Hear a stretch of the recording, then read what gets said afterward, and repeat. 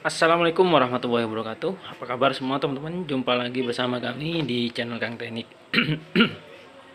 Di video kali ini kita bertemu dengan kulkas Panasonic ya Dua pintu.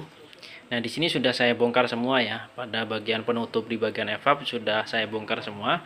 Karena eh, di kesempatan video kali ini Saya akan menunjukkan ya teman-teman Bagaimana eh, perbedaannya antara eh, Sirkulasi yang buntu Ataupun sirkulasi yang kekurangan freon ya Nah, teman-teman bisa lihat ya pada bagian ujung e, perpipaan e, pada bagian kapiler ini, ujung kapiler ini itu terjadi penggumpalan es ya.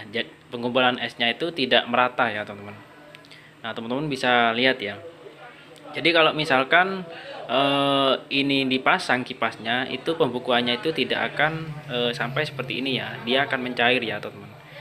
Nah, ini cuman e, sampai sini saja ya pembukuannya tidak sampai merata. Jadi kalau misalkan kipasnya ini kita buka teman-teman e, kalau misalkan freonnya itu penuh ya kalau misalkan freonnya itu penuh dan kipas ini kita, sudah kita buka lalu kita hidupkan dia itu e, e, cepat merata ya. Jadi bekunya itu nanti cepat merata karena kipasnya nggak nggak dipasang. 5 menit itu pasti e, merata ya. Itu adalah salah satu Eh, tanda-tanda freon itu penuh ya masih penuh ya kalau sampai merata. Namun kalau misalkan tidak sampai merata seperti ini ini artinya eh, kekurangan freon ya teman-teman. Jadi bekunya itu sampai ujung sini saja jadi nggak sampai merata. Nah e, namun kalau misalkan e, terjadi kebuntuan pada saluran perpipaan ini e, dia itu e, mungkin masih bisa beku dikit kadang juga tidak bisa beku sama sekali ya namun e, kalau di bagian evap ini kalau beku itu tidak terdengar suara mendesis ya atau suara air seperti air mengalir itu tidak ada sama sekali kalau misalkan e, di bagian evap itu terjadi buntu ya. Nah, selanjutnya e, untuk cara mengata, e, mengetahui freon itu berkurang bisa dicek juga pada bagian belakang sini ya, teman-teman. Nah, pada bagian sini.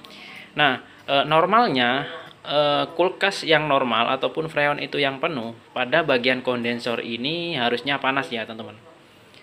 Jadi di bagian pipa kondensor itu harusnya panas. Nah selanjutnya kita cek juga pada bagian ujung ini. Nah pada bagian ujung ini ini juga harusnya panas ya teman-teman. Nah di sini itu tidak ada panas sama sekali. Cuman yang terasa hangat itu ada di bagian ujung sini ya. Nah ini ini saja. Jadi yang keluar dari kompresor itu terasa hangat saja. Jadi maka bisa kita pastikan uh, freonnya ini berkurang ya teman-teman. Nah selanjutnya uh, kalau sudah seperti ini kita langsung saja potong pada uh, bagian pipa pengisian ya teman-teman. Langsung. Nah pada bagian ini terus, terus.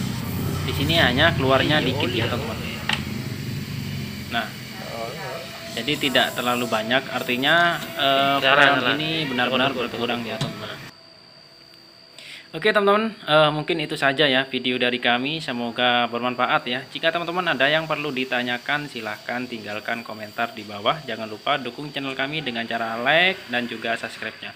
Assalamualaikum warahmatullahi wabarakatuh.